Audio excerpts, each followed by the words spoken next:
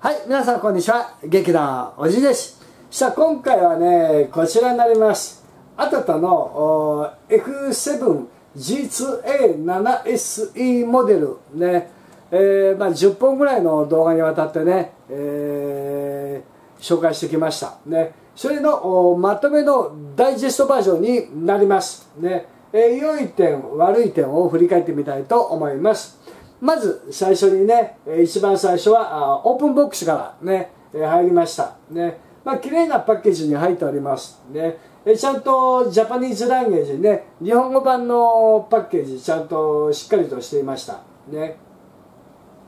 それで、えー最初はね、マイクが出てきて、ねえーそしてこの枠が出てきました。まあこれはね、おじいのデミオでは使わなかったんだけども、ね、そして、えー日本語マニュアル、これね、えー完全に見やすいです。ね、わかりやすい日本専用のマニュアルが入って、えーパッケージされています。ね、もう完全に日本専用です。これね。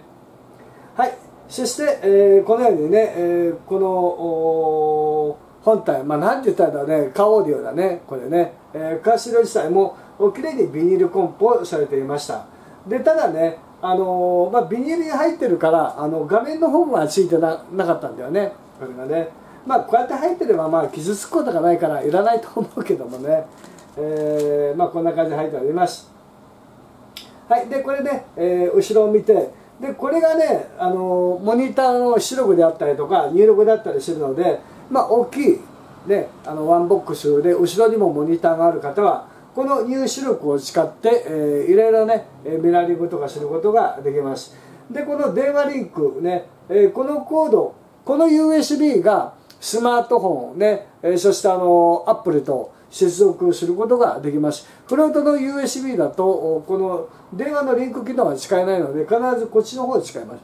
だ USB のメモリーとかねえそこら辺はフロントでもこれを使ってもどっちでも認識はします。ね。でこれあの充電してくれるんだねスマートフォンなんかにもね、まあ、便利な USB ケーブルになります。ヒューズはねここに15アンペアがついてます。これね。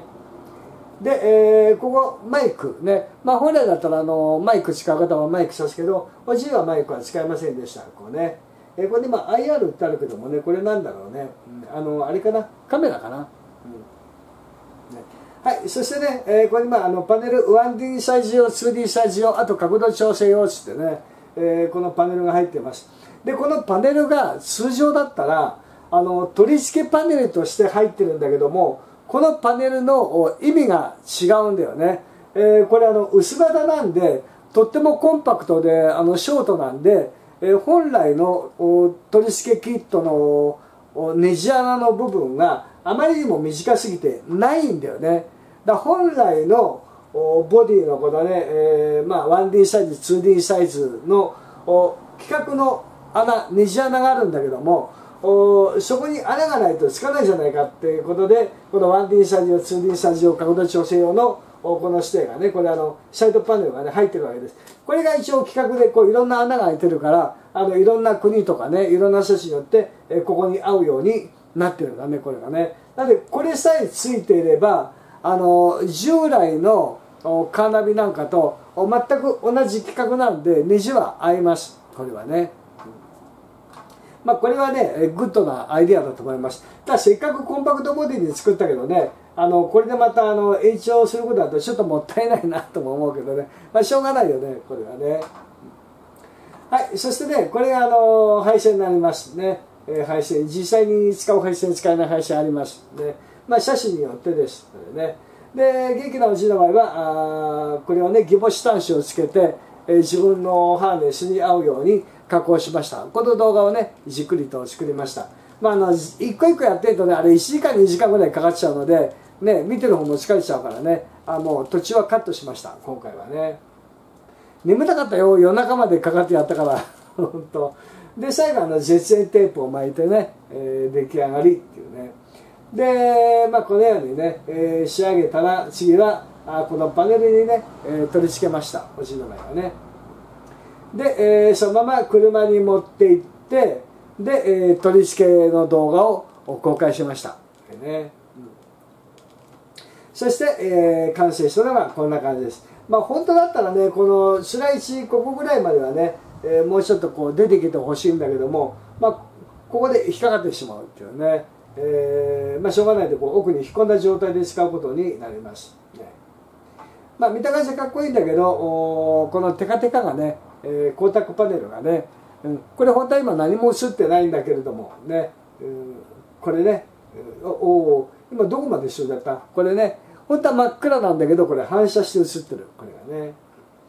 はいそして、えー、起動するとこんな感じのメニューになっています。えっ、ー、とこれ Linux なんでこれ Android ではありません。ね、えー、なのでアプリを追加して使うということはできないです。残念ながらね。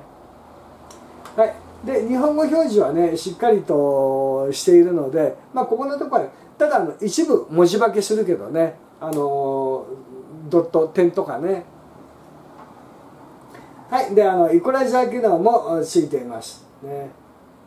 はいそしてあの USB メモリーねこれもしっかりと認識して音楽と動画を見ることができました。ね。ね。でスマートフォンとの連携ねこれの方もしっかりできます。でまあ元気なおじいはねあのあんまりややこしい機能アプリ連携してってあんまり使わないんであとあのナビみたいなもんねあの連携して使えたんだけどもまあないよりはあった方がマシかなっていうね、えー、その中でまあ重宝するんじゃないかなと思いますでねはい、そしてね、えー、Bluetooth で接続すると、まあ、音を飛ばしてね、えー、このように再生できるようになります。まあ、音楽の場合はちゃんとこうやってね、名前が連動して、ここのやつがここにね、出てきます。ね、でそれ以外のアプリだと、おもうのもう分かんないっていうね音だけ取ります、ね。まあ、あの詳しい内容はあその動画を見てください、ね、あと FMAM これ両方とも入りますね。まああので中華ナビなんかだとねたまにあの FM しか貼らないとかねあのなんていうのか80ぐらいしかないとかね。昔のものはよくそういうのがあったけど。ね。アンドロイドのスマホなんかもそうだったよね。昔はね、まあ、今最近はだいたい76ぐらいから入るようにはなってるみたいだけども。ね、まあ、しっかりと欲しいところの周波数帯75、6ぐらいからね99まで入るようになってます。ね、これはバッチリでした。ね、はい。まあ良いところをまとめるととにかくね値段が安い。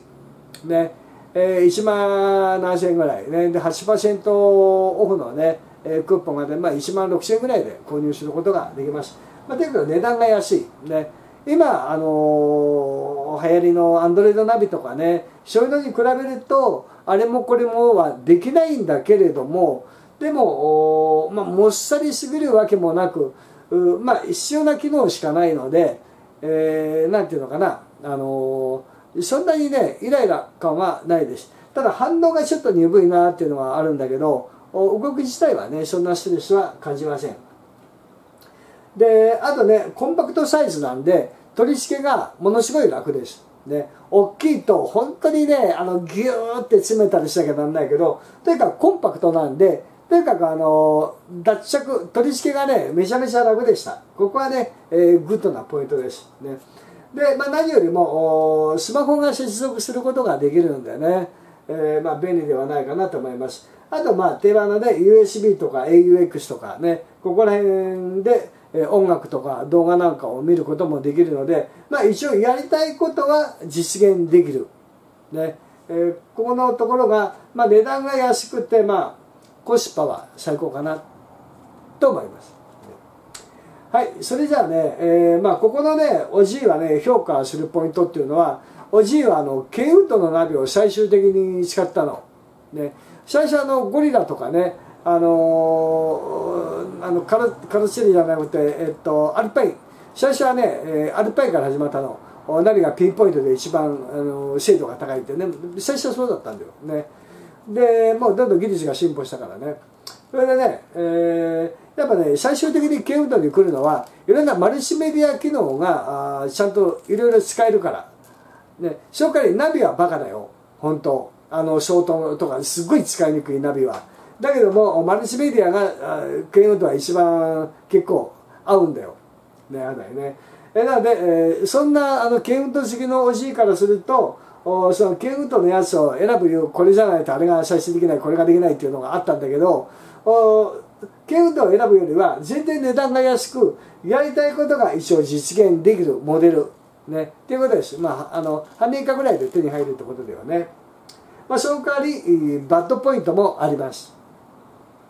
はい、バッドポイントとしては、あこれ光沢パネルで、まあ、とにかくあのもうガラスのように反射するので、とにかくもう地下鉄で辛い。ね。なのでこれはあの100円ショップとか行ってね、光沢、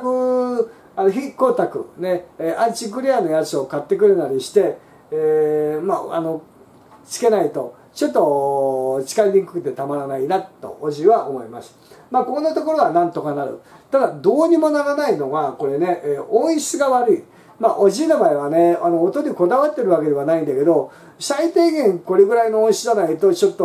聞くのも嫌だっていうね、これだったら聞かない方がマシっていうレベルがあるので、まあ、そこのところには達していなかったんで、まあ、こもったような音ってあんま好きじゃないんだよね。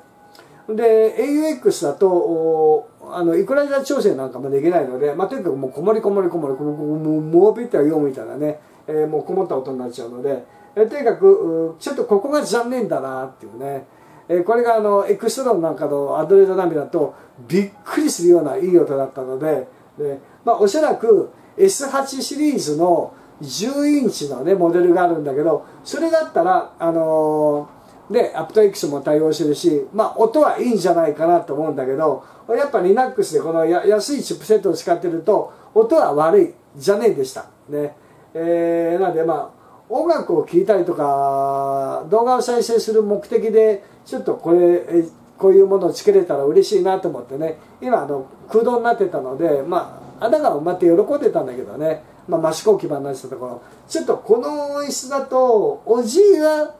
また外しちゃう。使わない。これはね。でも一般的に言うと、まあ、1万6000円ぐらいね6000 7000円ぐらいで購入できてこんだけのことができたらまあ許せる範囲ではないかなと思いますね。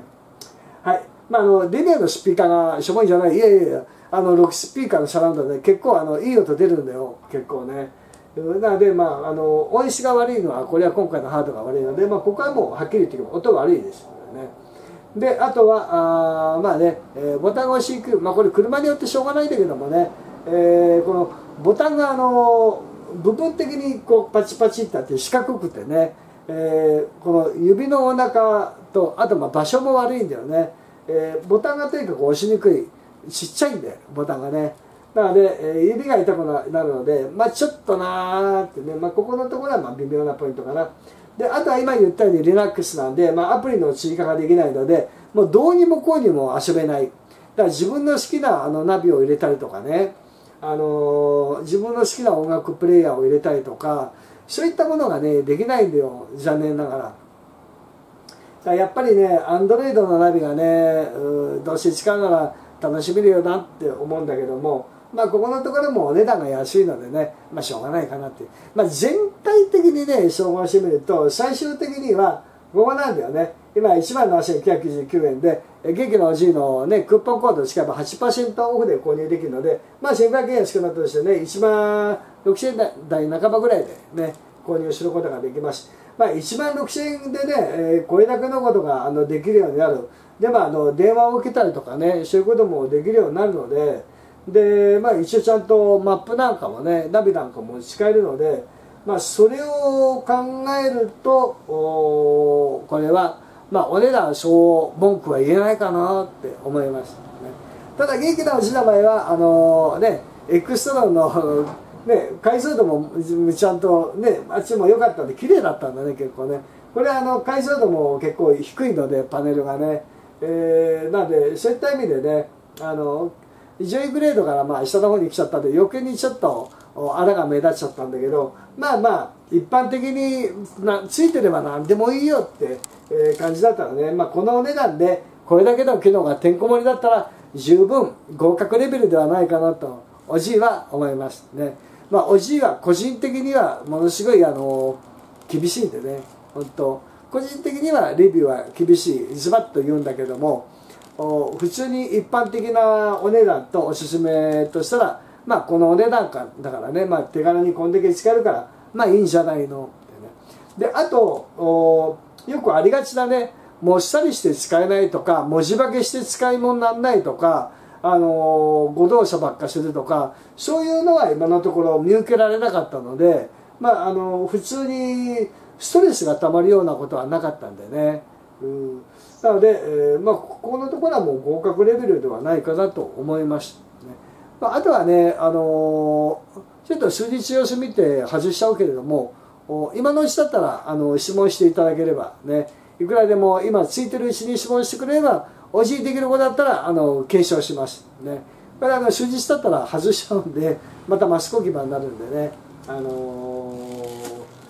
ー、ちょっと質問には答えられないかもしれませんね。はいそんなわけで、えー、元気なおじいのねこの動画に Amazon のリンクと8%オフのクーポンコード8月の31日まで有効のクーポンコードがあります。そして、えー、10本作った動画ねえそれぞれちゃんとリンクが貼ってあるのでもしよかったらね、えー、興味のある方は投資で見ていただけたらと思います。それだけで今回はあダイジェストでね、えー、こちらのおととの F7 シリーズねえ元気な味を紹介した型番はこちらになります。ね。よいしょ。F7G2A7SE を紹介させていただきました。最後までご視聴いただきありがとうございました。またね。バイバイ。